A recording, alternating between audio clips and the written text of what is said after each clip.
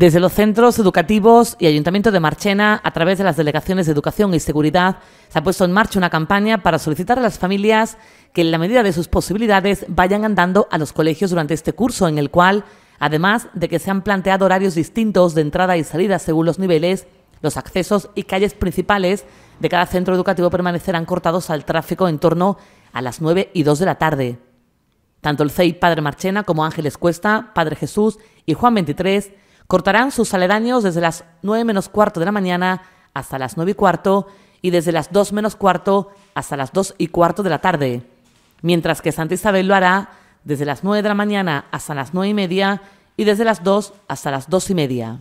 Por otro lado, Radio y Televisión Marchena se suma también a esta campaña con la realización de un spot en el que además la Delegación de Educación lanza una serie de consejos sobre la vuelta al cole.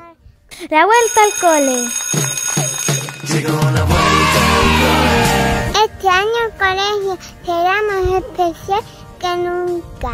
Nos iremos todos al cole con mascarilla. Yo me voy a poner la mía con la varita mágica.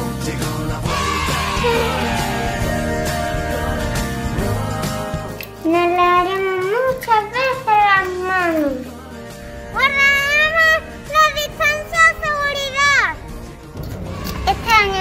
todos al colegio andando. No hace falta aparcar delante del cole. Cuando andamos no contaminamos y hacemos ejercicio.